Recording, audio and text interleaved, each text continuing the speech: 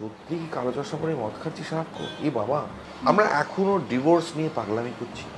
আমরা এখনও নানান জিনিস নিয়ে, একটা ত্রিকোণ প্রেম, পরকিয়া, কবে বাবা রবীন্দ্রনাথের ধর্ষণী আর কেন সে কোন সেঞ্চুরিতে হয়েছে? ফরগেট ইট আমরা তো একসেপ্ট করে নিয়েইছি যে যে মানুষ যাকে বিয়ে করে, সে শেষ কথা নয়। সতীদাহ প্রথার সময় বামুনরা যে করতো না যেসব অসভ্যতা? এই রকমের সমাজে আমরা প- পরি- হয়েছে। একটা কথা তো বলতে পারিনি উত্তম কুমার সম্পর্কে। বলতে পেরেছি বলুন দর্শক মহানায়ক তিনি আর একজন মহিলা বিরাট বড় অভিনেত্রীর সঙ্গে তিনি থাকেন লিভ টুগেদার করছেন। মৃণাল সেন যে এতটাই সমষ্টিতে বিশ্বাস করেন বা সোশ্যালিজমে বিশ্বাস করেন মনে করেন উনি একদম প্রাইভেট মার্কসিস্ট উনি কিন্তু পার্টি মেম্বার হননি never he never join the party হয়তো সেই কারণেই আমরা দুজনে মিলেছিলাম। বেনিয়াপুকুরের এই বাড়ি অঞ্জন দত্তর দীর্ঘদিনের ঠিকানা। কখনো ডান দিক দিয়ে ভেসে আসে আজানের শব্দ, আবার কখনো বা শঙ্খের সুর। তিনি কলকাতাকেই ভালোবেসেছেন বরাবর। তাই কখনো বিলাসবহুল ফ্ল্যাটের হাতছানি তাড়া করেনি তাকে। কলকাতার গলি ঘুঁচি ফিরে ফিরে এসেছে তার বিভিন্ন সৃষ্টিতে। এই বাড়ি সেই সৃষ্টির উৎসস্থল। সেই বাড়িতে ঠিক দুপুর বারোটায় পৌঁছলো আনন্দবাজার অনলাইন। এরপরেই শুরু হলো আড্ডা।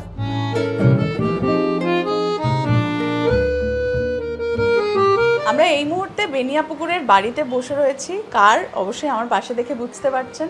অঞ্জন দত্ত আমার সঙ্গে আজকে আনন্দবাজার অনলাইনে প্রথমে যেটা জানতে চাইব যে চালচিত্র এখন প্রচুর মানুষ দেখেছেন এবং আপনাকে জানিয়েছেন। আপনার সোশ্যাল মিডিয়ায় আমরা দেখছিলাম যে রিয়াকশন এতটা আশা করেছিলেন? না এতটা আমি আশা করিনি। কিন্তু আমি জানতাম যে প্রবাসী বাঙালিরা দেখবে। এবার প্রবাসী বাঙালিরাই আমার দর্শক, আমার মতন মানুষের দর্শক। এবং সেই কারণেই খুব কনসিয়াসলি আমরা ডিসিশন নিই যে ওই জাস্ট কয়েকটা কোনো মতো একটু লিমিটেড থিয়েটারে রিলিজ করতে হয়, তাই রিলিজ করা হয়েছে। কিন্তু একসঙ্গে ওটা হইচইতেও করা হয়েছে।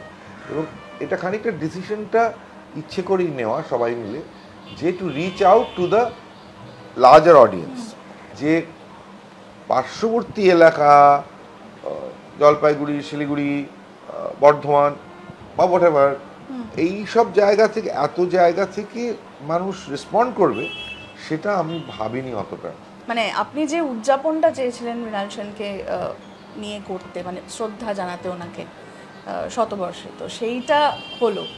হ্যাঁ আমি চেয়েছিলাম যে ওনার প্রতি একটা আমার সব থেকে বড় পাওয়া হচ্ছে মৃণাল সেনের ওপর ইন্টারেস্টটা হয়েছে। মানে যে মানুষটা আমার তার সঙ্গে আমি প্রায় এতগুলো বছর চার দশকের ওপর কাটিয়েছি সেই মানুষটা সম্পর্কে একটা ইন্টারেস্ট হয়েছে। হইচই দায়িত্ব নিয়ে কিছু ছবি তার রেখেছে সেইগুলোকে দেখতে আরম্ভ করেছে খুঁজে খুঁজে অন্য প্ল্যাটফর্মে কি আছে দেখছে মৃণাল সেনের পুরনো ছবি নিয়ে আলোচনা হচ্ছে। এইটা আমার কাছে খুব ভালো লাগছে আর কি ভাবতে। দ্যাট ইজ আমার সব থেকে কাছের বন্ধু ইজ গেটিং আগেন নতুন করে তাকে সেলিব্রেট করা হচ্ছে সেটা এমনিও হচ্ছিল একশো বছর তো কম নয়। কিন্তু আর একটু এই ছবিটার কেন্দ্র করে যদি আর একটু হয় ভালো লাগে ভালো লাগছে। হ্যাঁ মানে একদিকে কৌশিক গাঙ্গুলির খারিজ অন্যদিকে সুজিত মুখার্জি করছেন পদাতিক। এতগুলো মানুষ এক্সাইটেড হয়ে ছবি করতে থাকবে বা বই লিখে ফেলবে এটা একটা আমার কাছে খুব ভালো লাগার জিনিস। যখন প্ল্যান করলেন, তখন বায়োপিক বায়োপিকের ভাবনা এলো না কেন? মানে এইভাবে শ্রদ্ধা জানানো। আমি, দেখুন, আমার কাছে দুটো কারণ। একটা হচ্ছে যে আমি মৃণাল সেনকে নিয়ে অনেকদিন আগেই একটা তথ্যচিত্র করতে চেয়েছিলাম। তখন উনি হাঁটা, হাঁটাচলা করতেন। হাঁটাচলা করতে মানে তখন আমার ভ্রমণ শুটিং হয়নি। আমার ভ্রমণ শুটিং হয়নি, সদ্য সদ্য অন- অন্তরীণটা হয়েছে। আমিও তখন ছবি করার কোনো এ পাচ্ছি না মানে প্রডিউসার পাচ্ছি না। সো আমিও তখন ছবি করব ছবি করব, কারণ ওনাকে অ্যাসিস্ট করছি, এ করছি, ওনার লাইন প্রডিউসার শুধু তো অ্যাক্টার নই স্ক্রিপ্ট লিখ মহাপৃথিবীর গল্প লিখে ফেললাম ওনার জন্য। তখন আমি বলেছিলাম ডকুমেন্টারি করব আপনাকে নিয়ে। ওনার, ওনাকে নিয়ে জার্মান একটা খুব খুব ভালো ডকুমেন্টারি আছে, দুটো আছে। আরও আর একটা তিনটে, অনেক বিদেশি ডকুমেন্টারি আছে। প্লাস কলকাতা থেকেও লোকজন করেছে। তো উনি আমায় বলেছেন, যদি কিছু করো পার্সোনালি করো।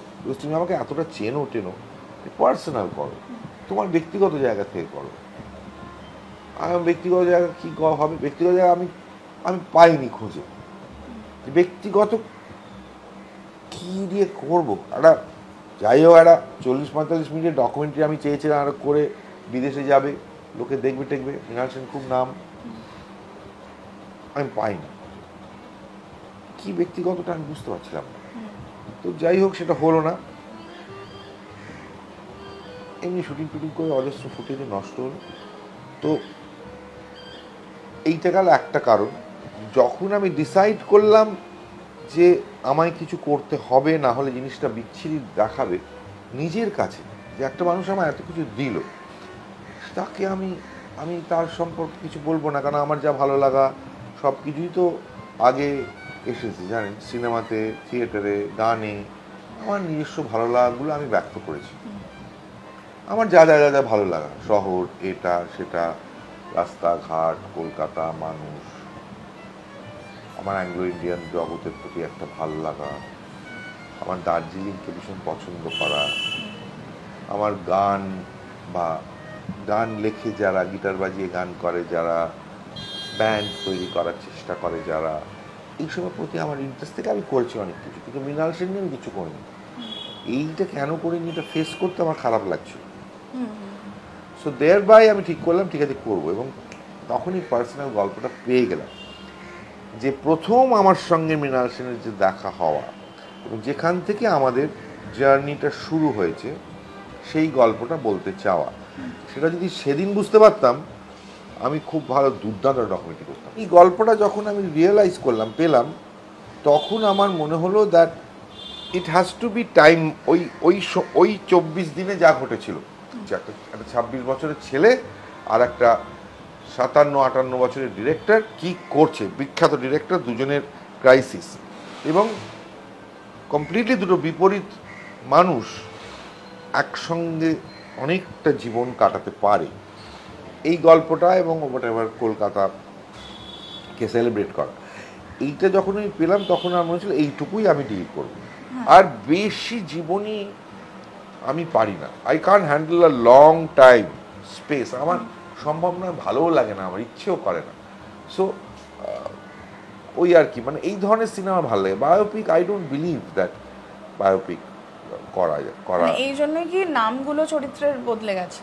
দেখুন আমি বলছি একটা লোক মৃণাল সেন দেখতে মৃণাল সেনের মতো নয় লোকের একটা অদ্ভুত বিচ্ছিরি লাগবে। আমি বলছি অঞ্জন দত্ত দেখতে নয় লোকের একটা অদ্ভুত লাগে সো আমি কুণাল সেন বলে যখনই বলছি তখনই কিন্তু একটা ও আছে, মেনে নিচ্ছিল। গীতা সেন খুব বড় অভিনেত্রী। কিন্তু গীতা সেনকে দেখে কখনো মনে হয়নি আমার, যতদিন ধরে দেখেছি। যখনও অভিনয় করছে মহাপৃথিবী বোধ হয় শেষ অ্যাক্টিং মনে হয়নি মানে অভিনেত্রী।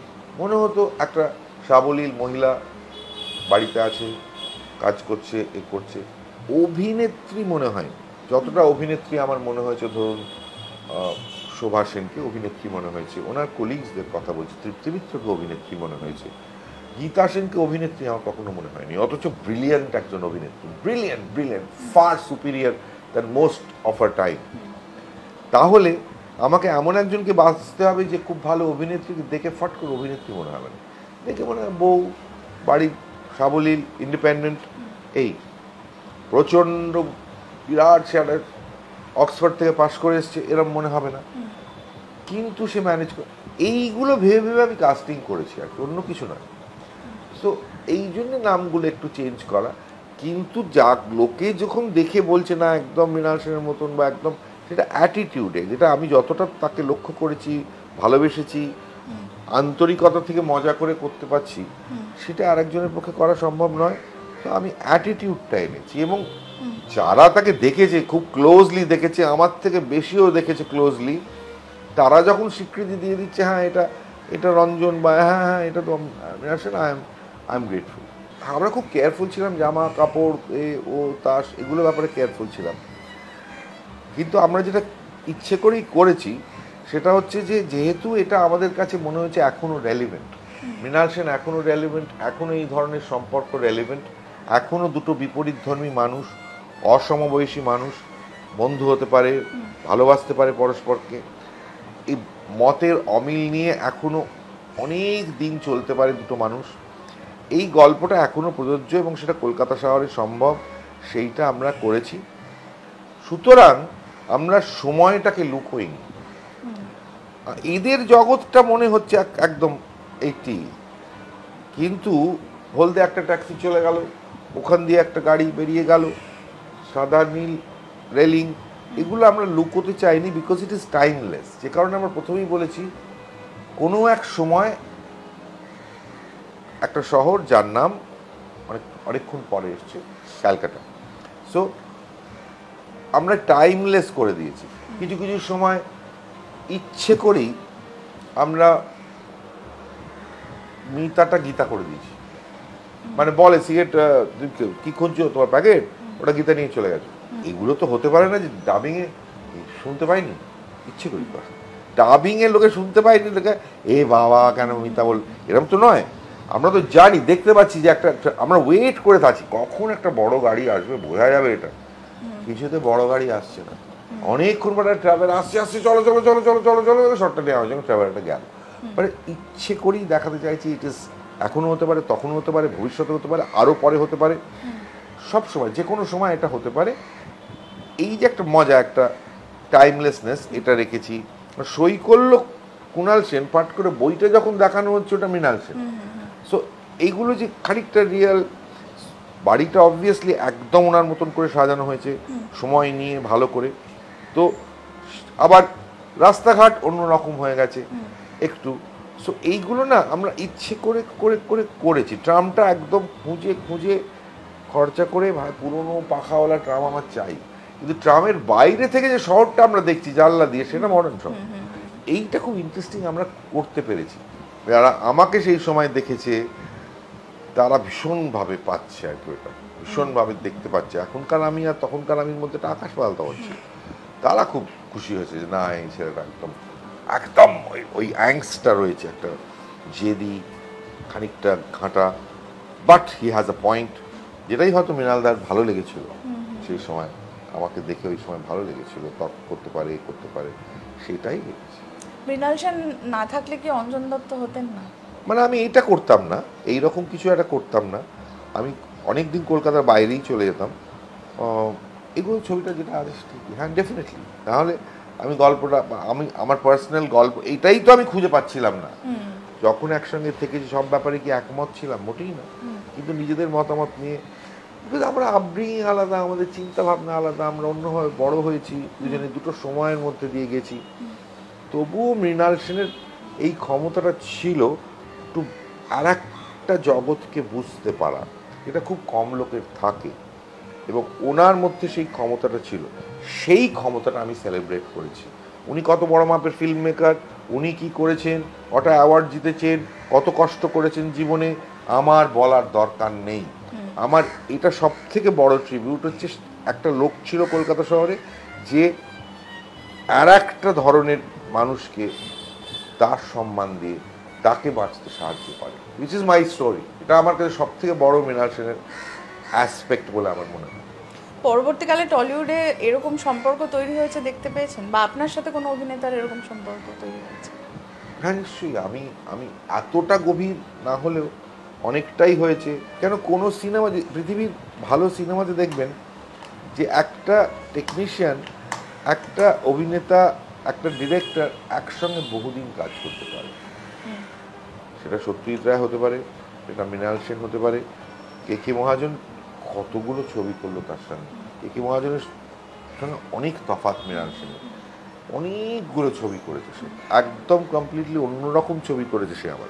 গিয়ে যে কোনো পৃথিবীর যে কোনো বড় ডিরেক্টর দেখবেন একটা টিম তৈরি করে ওই একই একটা তসিনমি ফুনে আর বাকি কুরুসাওয়া আকিরা কুরুসাওয়া চলছে এই মার্টিন স্করসেসি আর রবার্ট ডিনিরো চলছে তো চলছে। এই সম্পর্কগুলো খুব ইউনিক হয় এবং ছবি আমার মনে হয় ভালো ছবি তখন তৈরি হয় যখন unit music director art director cameraman এবং অ্যাক্ট্রেসরা একসঙ্গে বহুদিন কালেকটিভ এফোর্ট তো একসঙ্গে বহুদিন কাজ করে। আর একটি জায়গায় দেখানো হচ্ছে যে টেকনিশিয়ানরা খেতে বসেছেন এবং সেটা নিয়ে একটা কথাবার্তা আলা মানে বাক্যালাপ চলছে। তো ওই জায়গাটা যখন আমি দেখছিলাম মানে বসে যখন সিনেমাটা দেখছি তখন সামহাও আমার আপনার শুটিং ফ্লোরে আমরা যখন যাই সেই জায়গাটা কানেক্ট করতে পেরেছি। তো সেটাও কি আপনার ওনার শুটিং হ্যাঁ অনেক কিছুই অনেক কিছুই যে ভাই লোকজনকে খাবারটা ঠিক দিতে হবে। নীল একটু ভীষণ খেতে পছন্দ করে। যত না বাজায় তার থেকে বেশি খাওয়ার বেশি ইন্টারেস্ট ব্রেকফাস্টে কী হবে? লাঞ্চে কী হবে? আমি শোনো কত এইটা কত? আচ্ছা ঠিক আছে। ওর খেতে ভালো লাগে। তো ও না খাওয়া খাওয়া। আর আমার প্রোডাকশন ম্যানেজারগুলো যতবার এসছে তারাও খেতে ভালোবাসে। আচ্ছা অঞ্জনদা কালকে টিফিনে আরে ভাই কখন শুটিং হচ্ছে? কোনো ইন্টারেস্ট নেই টিফিন না না আমি বলছি কি ওরা খেতে তাদের পাল্লায় পড়েছি বা মৃণাল সেনের এই মুকুলবাবু আমি দেখিনি। খাওয়া খাওয়া খাওয়া। এবং এই কথাটা আক্ষরিক অর্থে মুকুলবাবু বলেছিল একটা খুব ইম্পর্টেন্ট অ্যাক্টরকে যে সত্যিই তো কত কষ্ট করে মানুষ করে এবং মৃণালবাবু জীবনে কত কষ্ট করে করে খাবার, স্রেফ খাওয়ার জন্য কত কষ্ট করেছে সেটা ভাবাই যায় না। কল্পনা আমি জীবনে করতে পারব না। আমি জীবনে পারব না, আমি জানি না কে করতে পারবে। অর্ধেক এই যে ইন্ডাস্ট্রি বলছেন না, এই অর্ধেক ইন্ডাস্ট্রি কেন আশি শতাংশ পালিয়ে যাবে। যে কষ্টটা উনি করেছেন সেটা আমি দেখাইনি। কিন্তু তার মূল্যটা যে কষ্ট করলেই মানুষ আরেকজনের খিদের দামটা দেয় তো সেইটা আমার কাছে সেলিব্রেট করার দরকার ছিল। এবং মানুষ যে সেটা সেলিব্রেট করছে এবং আক্ষরিক অর্থে নজরুল তীর্থে যে শোটা দেখানো হয় আমাদের ফেস্টিভ্যালে আমি গেছিলাম কিউএনএ তাতে একজন ভদ্রলোক এসেছে। ওমা সে মৃণাল সেনের জুনিয়র আর্টিস্ট কোন ছবি সে বলছে না। বলছে আবার চিনতে পারছেন? আমি বয়স্ক, আমি না, আমি আপনি আমার আমি আপনারই বয়স। আমি কত একাত্তর? বলল হ্যাঁ। কোন ছবি বলুন তো? আমি চিনতে পারছি, ও চিনবেন কী করে? আমি তো এইটুকু একটা করেছি। চিনতেই পারছে না। মানে আমি সে ছবিতে অ্যাসিস্ট করেছি বা অ্যাক্টিংও করেছি, সেটা বলছে না। সো মানে হি আইডেন্টিফাইড সত্যিই তবি আমরা ভালো খেতাম। সেই সময় দুটো নন ভেজ আইটেম এটা ওটা খুব ইন্টারেস্টিং বর্তমানে বাংলা ছবিতে আমরা সিরিয়াস রাজনৈতিক ছবি দেখতে পাই না সেটা কেন বলে আপনার মনে হয়? আমার মনে হয় দ্যাট রাজনীতি মানে রাজনীতি মানে প্রশ্ন করা। একটা প্রশ্ন তোলা। নিজের সম্পর্কে সময় সম্পর্কে সমাজ সম্পর্কে। রাজনীতি মানে তো পার্টি পলিটিক্স নয়। সিরিয়াস একটা প্রশ্ন করা সময়কে মানুষকে এই প্রশ্ন করার জায়গাটা ক্রমশ কমে গেছে বলে আমার ধারণা। এই যে একটা পরস্পরের জানা ডিসকাস করা এ করা সো প্রত্যেকেই না কীরকম একটু মানে ইনসুলার হয়ে গেছে। কিন্তু ডিজিটাল ওয়ার্ল্ড একটা ইনসুলার ওয়ার্ল্ড তৈরি করছে যে আমি অমুক অঞ্জন দত্ত আমার পছন্দ মতো বন্ধু আমি সিলেক্ট করব আমার কত লাইকস হবে কত ডিসলাইক হলে ব্লক মানে এইটা কেন? এইটা এইটা তো আমার ক্ষতি করে দিচ্ছে। আমি মহান টোহান হতে বলছি না। মহান হওয়ার কথা নয় but to be open open আমাকে তো অনেকেই ওপেনলি অনেক সময় সারা জীবন তো নানানভাবে একটা এ কালো চশমা পরে, এ মদ খাচ্ছে, এ এ করছে। সত্যি কালো চশমা পরে মদ খাচ্ছে সারাক্ষণ? এ বাবা। আমার চরিত্রের লোকেরা কন্টিনিউস কালো চশমা পরে মদ খাচ্ছে। আমার মেয়েরা সিগারেট খাবেই খাবে। মাও খাচ্ছে, মেয়েও খাচ্ছে, স্বস্তিকাও খাচ্ছে, এও খাচ্ছে। অস্বস্তিকা আই এম চ্যালেঞ্জ আমি তো তাকে কনফ্রন্ট করাচ্ছি যে হ্যাঁ অসুবিধে কি? সেইটা চোখে পড়ছে বেশি, গল্পটা পড়ছে না যে মা বদলে যাচ্ছে, মেয়েও মাকে বুঝতে পারছে।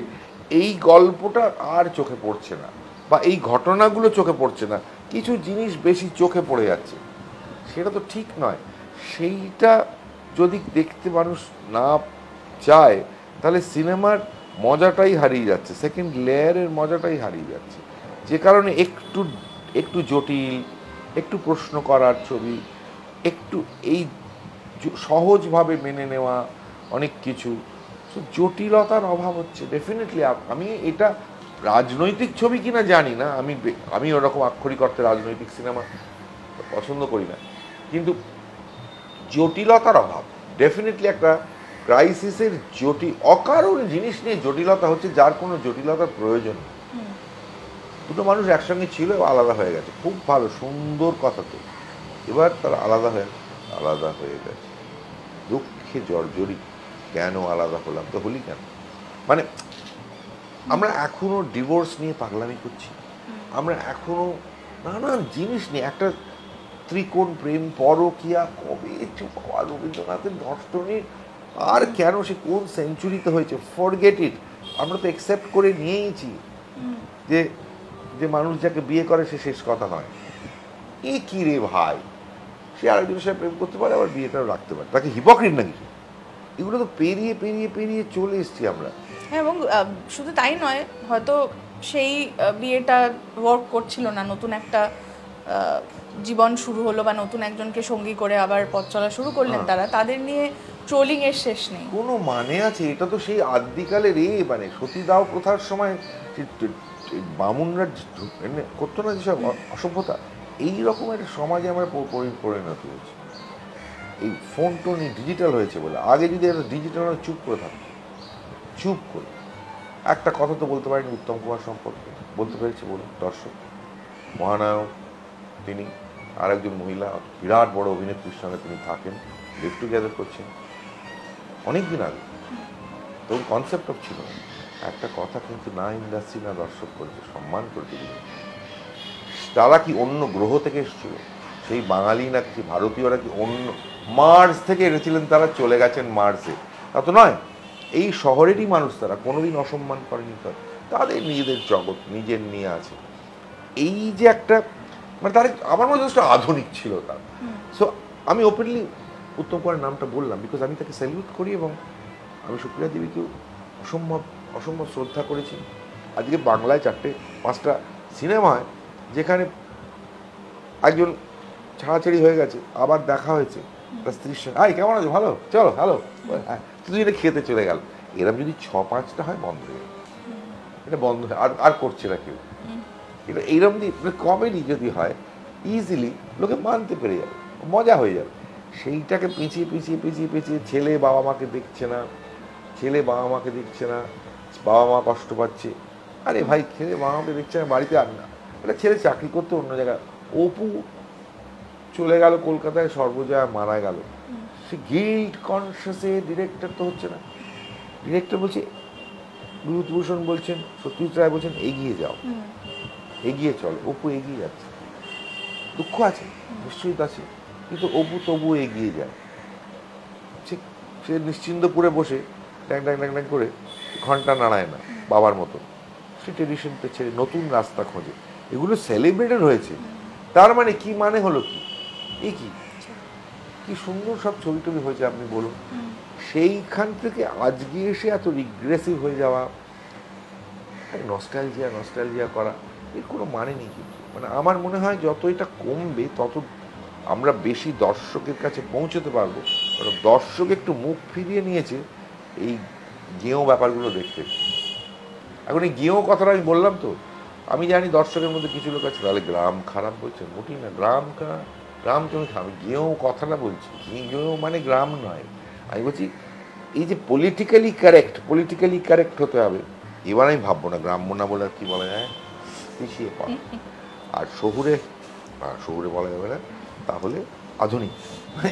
এইরকম যদি কন্টিনিউয়াস আমায় করতে হয় তাহলে তো মাথা খারাপ হয়ে যাবে। এখন কি সত্যি এরকম মানে মানুষ যেটা বলতে চান সেটা। বলতে পারছেন না? পাচ্ছেন না because of too much of political correctness too much of political কারেক্টনেসটা এত বেড়ে গেছে যে যে যেটা বলতে চাইছে, সেটা বলতে গেলে দশবার ভাবতে হচ্ছে, আর কন্টিনিউয়াস যদি সেন্সর বোর্ড একটা, ঠিক আছে সেন্সর বোর্ড উঠে গেছে সার্টিফিকেশন বোর্ড এসছে, এবার দর্শক সেন্সর করছে, ও বলছে, এ বলছে, কি বড় বড় করে প্রথমে লিখতে হবে। আমি তো ঠিক হই শোনো, সত্যি ঘট, পুরোটাই বানানো, যা কিছু হচ্ছে, সব কিছু ঠিক নয় এরকম একটা বলে দিলে লিগালি আমি সেফ না হলে তো কেলেঙ্কারি ফেসবুকে সোশ্যাল মিডিয়া তো, সব জায়গায় একটা কথা যদি একটু এদিকে লেখা হয় ওটা তাকে নিয়ে পড়ল। আপনি এটা কি বললেন? আপনি কেন বললেন আপনি আরে ভাই তার মনে হয়েছে সে বলেছে যে কিছু একটা বলেছে। সেটা নিয়ে এত পাগলামি করার কি আছে? এই এই এইটা একটা over sensitise wrong for wrong reason যদি ওভার সেন্সিটাইজড হয়ে যায় মানুষ তাহলে যা হয় তাই। না আপনি যেটা বলছিলেন যে ওই ছবিটার যখন মানে শাওন শাওন যে ক্যারেক্টারটা করেছে তার যখন বয়স যা ছিল সেই সময় সে তিনি খুব জেদি ছিলেন। মানে অঞ্জন দত্ত সেই সময় খুব জেদি ছিলেন। নয় আমার নিজস্ব একটা দৃষ্টিভঙ্গি ছিল যেটা সহজে কেউ শুনতো না। যে আমি ব্যক্তি স্বতন্ত্রতায় বিশ্বাস করি। আমি বিশ্বাস করি একটা লোক সমষ্টির মধ্যে নেই দল নেই সে তার। এবং যখনই সমষ্টি আসবে দল আসবে ব্যক্তি কথা বলতে পারবে না। এই কথাগুলো চট করে শুনতো না কেউ। তো আমার খুব ঝামেলা হতো। আমি দেখতাম এই যে এগুলো সব জার্মানিতে ফ্রান্সে সব জায়গায় হচ্ছে আমার এখানে হচ্ছে না কেন? সো আমার একটা প্রবলেম হতো এই প্রপাগ্যান্ডিস্ট ধরনের লোকজনদের সঙ্গে। মৃণাল সেন যে এতটাই সমষ্টিতে বিশ্বাস করেন বা সোশ্যালিজমে বিশ্বাস করেন মনে করেন উনি একদম প্রাইভেট মার্কসিস্ট উনি কিন্তু পার্টি মেম্বার হননি। Never he never join the party হয়তো সেই কারণেই আমরা দুজনে মিলেছিলাম। এই কথাগুলো তিনি শুনতে রাজি হলেন। তো অবভিয়াসলি দেখাই ছবিটা দেখতে দেখতে বোঝা যাচ্ছে চেহারা ছে ছেলেটা মুচকিচি হাসছে যে ছেলেটা সেটা কেঁদে ফেলবে না। সেটা পাচ্ছে না সেটা সেটা ওই যে সেটা বল বলতে চা বলে ফেলা। ছেলেটা তো পাচ্ছে না ছেলেটা একবার বলছে আপনার বাড়ি সুন্দর একবার স্টালিন কেন বন্ধ হয় মানে মিষ্টি ইনোসেন্ট হ্যাঁ। আর এই যে আপনি সানগ্লাস পরার কথা বললেন এই নিয়েই তো প্রচুর মিমিক্রি আছে। হ্যাঁ। প্রচুর মিমিক করে। আপনাকে যখন মিমিক করে আপনি কীভাবে নেন সেটা? আমি খুব সহজভাবে নিয়ে হাসি। আরে কি করব? সবাই আমি খুব মিমিক করি। মানে অনেকে এটাও বলেন যে আপনি সামনের মানুষটিকে দেখবেন না বলে কালো চশমা পরেন। না না না আমি না দেখব পুরো কালো চশমা পরে। না না এমনি ভালো লাগে। আমি কালো চশমাটা পড়তে ভালো লাগে। আমার পেছনে কেমন লাগে লাগল বুঝতে পারি উত্তম কুমার সারা জীবন কার- ছবিটা সবাই আ মহানাও কি দিয়েছে? আরে কালো চশমা পরে কি সুন্দর। আমি একটা পড়েছি। আচ্ছা আমি নয় ভূত। ভূত যদি কালো চশমা পরে থাকে কি অসুবিধে? কুমার করলে ঠিক আছে। আরে ভালো লাগছে আমার আমার ভালো লাগে কার্টুন বলে তো একটা একটা মজা আছে। কার্টুন তো একটা একটা ক্রিয়েটিভ আর্ট তো সেটা করলে করব আমি কি আমি হা- হাসি পাই মজা পাই। আমিও কিছু লোককে মিমিক করতে ভালো লাগে? করি। আমি করতে পারি আমি অনেককে মিমিক করতে পারি। কিন্তু সেটা করব না এখন বয়স হয়ে গেছে। অল্প বয়সে আমি এক্ষুনি করে দিতাম।